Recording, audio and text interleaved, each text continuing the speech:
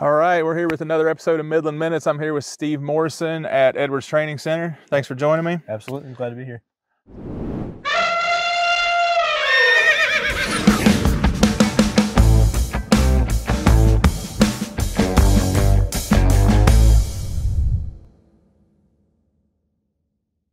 Steve is a 28 year veteran, so thank you for your service, sir. We appreciate that. You were saying uh, to the guys the, in the class that it is uh, the difference between marksmanship and survival, basically. It's two different mindsets. Well, the difference between marksmanship and defensive shooting. Defensive shooting, okay. Uh, so when you think of marksmanship, you're on a square range and you've got plenty of time and you're getting the perfect stance and you take your time and you're you're trying to hit the center of a target or a specific place over and over and over again. Mhm. And there, so there's a difference between that kind of accuracy and the accuracy that comes into play when you're defending yourself. Well, the way I like to say it is on a two-way range, right? Um, when the target's shooting back. It's stressful, and you don't get to pick the time. You don't get to pick the weather or the conditions. Hmm. You just have to be able to react to it and, and be successful. So, um, defensive accuracy is basically being able to stop threat um, and save your life or the life of someone else nearby that is an innocent party uh, as quickly and effectively as possible. And just like any skill, I assume that comes through repetition, through learning and knowing what to do in any situation. right? Absolutely. There's a lot of people that um, they think they don't need this kind of training or or whatever the case may be. But the, the saying is you're, you're not going to rise to the occasion, but you're going to fall to the lowest level of training. Mhm.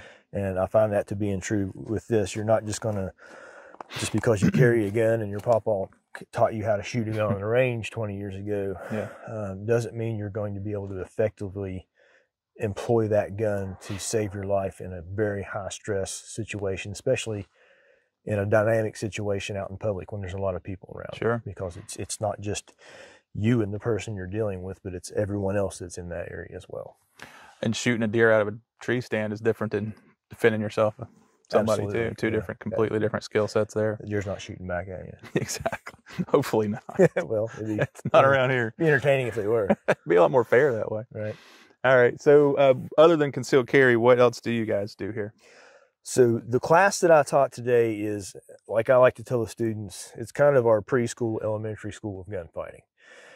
It teaches you how to safely operate a firearm, how to basic stuff out in the public to be aware of your surroundings and things like that. And you know, with the USCCA material that we teach, we not only talk about defending yourself physically, but morally, legally, financially as well, and and emotionally. And the only way to really do that is to not get into an engagement in the first place. So, um, avoidance is the main thing that we teach. The gunfight that comes after that is That's the last secondary, resort, right? Yeah. um, if you're going to do it, you need to be able to do it and do it well. Um, so we teach this class. The next class after this would be our handgun one, Mhm. which is it's a couple hours in the classroom uh, talking about different laws and some things that have to do specific with concealed carry. And then it's about six hours on the range. You'll shoot around 500 to 600 rounds. Oh, wow. And it's uh, constant.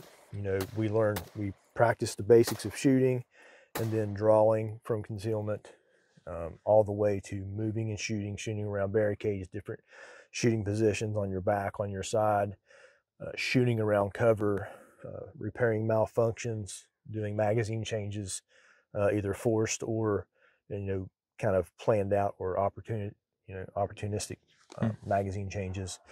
And all of that So- happens on the range up on the hill here. That's all the different levels of the targets, and then you mentioned the shoot house too Correct, that you yep. have. So. So you mentioned the shoot house. That would be another one of our classes, and we've tradi- traditionally referred to it as CQB, but that doesn't really fit because it's not close quarters combat. It's not close quarters battle. It's basically defending yourselves within the confines of a, a dwelling or a a building somewhere. It could be out in public at the mall and there's an active shooter and you're trying to get away, or you've made the decision to try to be that person to go and help.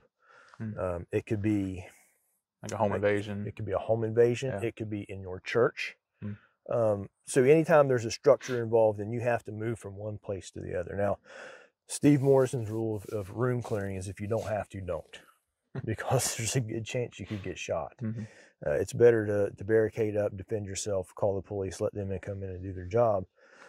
Uh, but an example I give in that course is a lot of people have the parents on the, the bottom floor of a house and the kids are up in a bedroom in the top floor. And if somebody's in your house between you and your kids, you need to get to your children. Sure. And they need to know what to do until you get there if they know that there's somebody in the house. So that's a lot of the conversation we have in that in that class worth the time and, and And. I mean, it's important that you get trained because you don't want everybody just running around with a firearm. Even though West Virginia is in a, con- a constitutional carry state, anybody can carry if they want to. Doesn't mean you should, right? Well, yeah. So that's that's the way I see it. Um, constitutionally, everyone who hasn't given up their rights by committing a felony and being um, actually um, convicted of that crime Mhm. has the right to carry a firearm. There are people who um, maybe should not carry a firearm.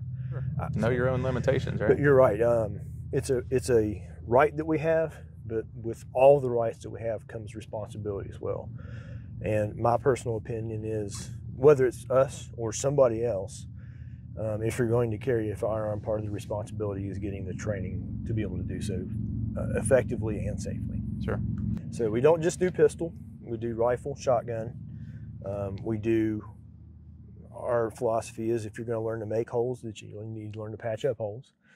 Um, you don't need to learn just to focus on defending yourself, but you also need to be able to render medical aid to yourself and to others in the case of a defensive gun use. So we teach uh, a tactical combat casualty care course, or stop the bleed, as well as um, open-handed techniques and less lethal uh, defensive techniques as well. Okay. Um, uh, so rifle, shotgun, and then one other class that we teach is shooting in and around a vehicle, because you know fighting in your home is the most likely chance, but um, carjackings and people trying to uh, rob you at a gas pump or whatever it may be, um, fighting in and around a vehicle is an important skill Sure. as well. All right. Um, Dwight sells ammo and guns here too, right? And some self-defense type stuff inside. Looks like. He does. He is a, a, a certified dealer. He'll get any ammunition or guns that you need. If he doesn't have it, he'll he'll find it. Okay. If if at all possible, he'll order it for you. And he prides himself on, you know, he'll give the best deal that he absolutely can.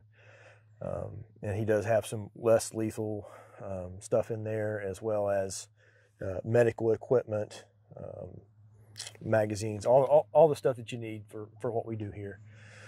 And uh, yeah, Does he keep him up. regular hours here, or is it just uh, certain? Just come So- in when he's here, kind of thing.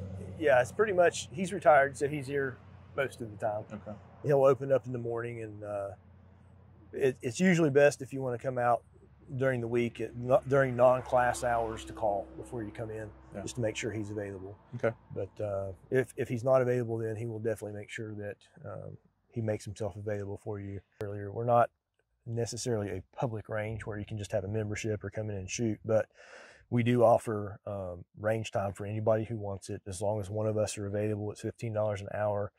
And when I come in to open the range for someone, I also offer free instruction um, for the time that they're arranged. If there's something they want to work on, magazine changes or fundamentals or whatever it is, I'll I'll work with them on that for free. Maybe you want? Would you help them familiarize themselves with their gun too? If they got, a new, got a new firearm, I have wanna... done that on multiple occasions. Okay. Yeah. And is that per hour? If it's a group, say you bring two or three buddies, or is it per person, or is it just Fifteen dollars per person per hour, per person per hour? Okay. which is uh, fairly reasonable, I think. Yeah, sure. I mean, I don't think you can rent a range without an instructor for that. And I then haven't just, been in a while. but- Help Dwight out and purchase some ammo while you're here. Sure. it helps. All right, well, we're gonna go up and check out the range real quick and shoot a shoot a couple rifles here. Let's go send some lead down range. Sounds good.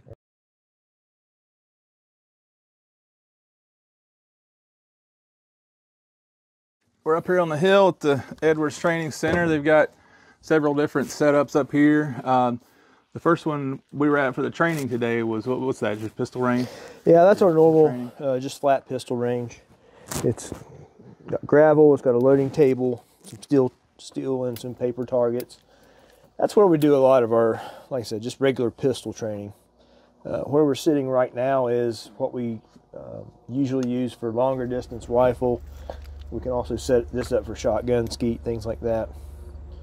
Um, and then we have a, a range off here to our left or our right. I'm sorry, uh, as our live shoot house, and on the other side of that is our newest range. It's about 100 feet by 120 feet, and then we can also get a little bit over 150 meters if we shoot long ways on the range into the berm for the shoot house. Okay, that's that's pretty good distance for about anybody what they're gonna bring up here, isn't it? All right, well, let's see. Uh, let's see what this thing will do real quick here. Oh, same. I guess you can tell me the same rules of those guys. If I do something stupid, tell me. I'll- I'll- unsafe, let me know. You'll know. I'm not worried about it. Call me down. All right. As long as you got your eyes and ears, and it's just the two of us up here, there's not much you can do that's going to be a problem. Feel free to shoot any of the metal gongs that we have out there, the steel plates or the car, whatever you want to shoot. All righty. Well, we'll start with the short ones there, I guess. See what happens.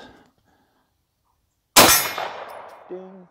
Isn't it just satisfying to get that That ping, I love it. Bing right at the end of Yeah. it? Uh, my dot's too. It's pretty bright out here. I'm gonna turn my brightness up a little bit there. Oh, that's yeah, better. we are kind of facing into the sun a little bit.